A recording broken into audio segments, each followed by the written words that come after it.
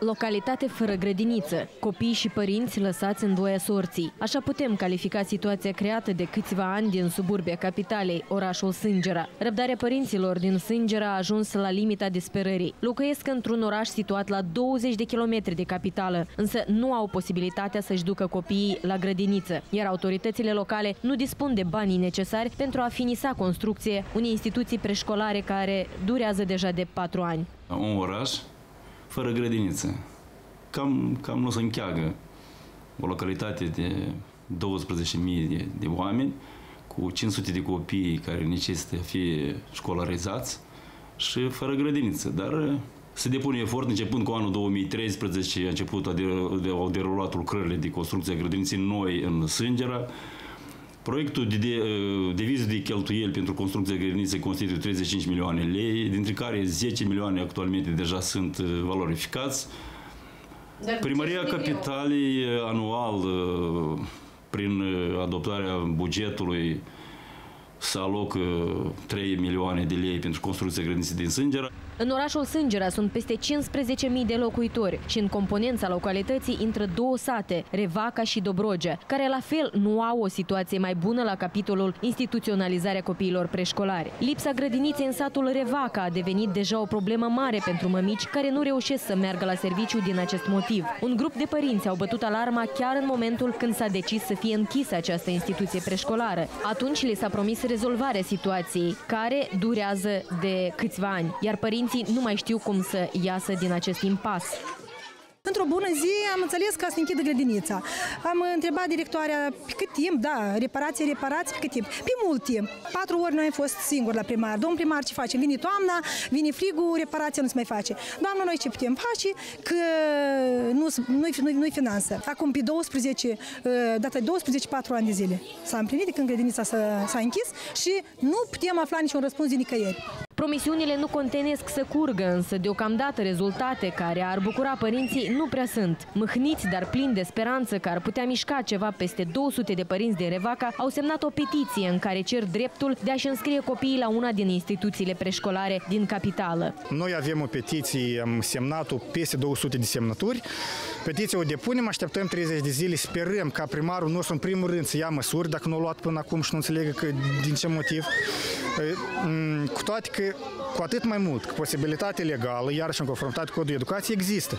Iată, în conformitate cu articolul 141-142 din Codul Educației, ehm, districtele școlare de pe lângă grădinițe sunt eh, delimitate de către administrația publică locală. În cazul în care noi nu avem grădinițe în Sângera, solicităm primarului general sau primării generale, primării municipiului Chișinău, ca în districtele școlare din municipiu să fie incluși copiii de la noi din Sângera și Revaca. În curtea grădiniții din Revaca am văzut mame disperate care au nevoie de un sprijin din partea autorităților. Acestea sunt revoltate și susțin că nenumăratele încercări de a sensibiliza conducerea localității și a capitalei nu au schimbat situația. Se apropie toamna, iar părinții continuă să se confrunte cu situația când copiii sunt lăsați în voie surții și nu pot beneficia de o pregătire preșcolară. Vreau și eu să dau copil, trebuie să aibă ocupație, trebuie, copilul trebuie să dezvolte, să educe. Eu vreau la grădiniță. Vrem ceva mai aproape de casă, pentru că este foarte obositor. Să trezești copilul la orele 6, la orele 8 trebuie să fie la lucru. Plus la asta, în privința lucrului,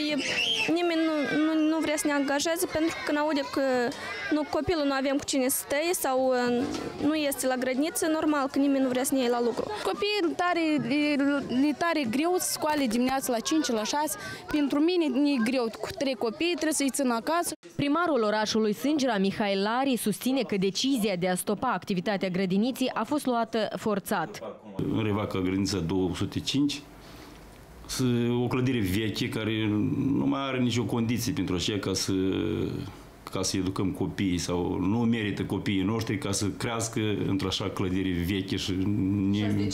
și s-a decis, adică Consiliul la insistența Institutul Abilitate, clădirea e avariată și este pericol pentru copii. Lipsa de organizare a activității grădiniților care există pe teritoriul acestor trei localități creează un disconfort și o adevărată competiție între părinți. În satul Dobrogea au fost construite în perioada sovietică două grădinițe care funcționau și asigurau cu locuri atât locuitorii din sat cât și din satele vecine. Una din instituțiile preșcolare a fost lăsată nesupravegheată și în decurs de un an au rămas doar pereți soluții. A doua grădiniță la moment se află în reparație. Copilașul nostru frecventează grădinița, adică la Dobrogea, frecventează copiii din Sângeral, foarte mulți la noi și grădinița e mare.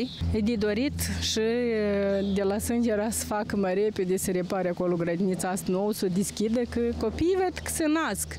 Orașul Sângera suferă cel mai mult de problema insuficienței de locuri în grădiniță. Unitatea preșcolară care activează de 30 de ani într-o clădire veche, fără condițiile necesare pentru această vârstă de copii, are doar 50 de locuri. La moment în grădiniță am găsit 56 de copii. Copiii au nevoie de dezvoltare educațională corectă, spațiu de joacă și elementar o toaletă.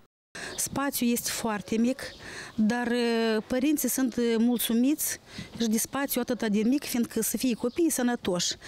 Ar fi de dorit ca să se mai uite cineva mai departe de noi, Totuși, se pare că administrația locală încearcă cu forțele proprii să rezolve problema. De patru ani în Sângera se construiește o grădiniță nouă, doar că lucrările decurg foarte greu din lipsă de bani. Dacă ar fi ca să intervină financiar primăria orașului Chișinău împreună cu Guvernul Republicii Moldova pentru a aloca o sumă mai mare de bani, lucrările de construcție a grădiniței s-ar fi terminat mai repede. Noi considerăm că e real dacă pune umăr și guvernul, cel puțin măcar cu 4-5 milioane de lei, 5 de la municipalitate, anul viitor cu vreo 6 milioane, de la municipalitate vă 4 de la guvern, atunci ne putem să o facem și la 80%. Primarul de Sângera menționează că are mâinile legate în această situație și personal își dorește rezolvarea problemei, însă nu totul depinde de el. Guvernul României dorește mult să investească la capitolul dat suma de 100 de milioane de euro.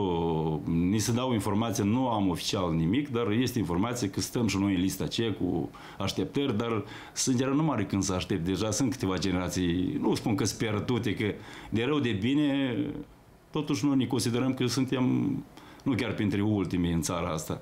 Ne dorim pentru țara noastră un viitor cât mai frumos. Ne dorim tineri care să ne ducă faima în lume și cu care să ne mândrim. Dar ce oferim dacă astăzi ne confruntăm cu problema lipsei grădinițelor în aproximativ 250 de localități din țară? Construcția unei unități preșcolare de la zero a devenit o mare problemă pentru autoritățile locale, iar bani extrabugetari este foarte greu de găsit.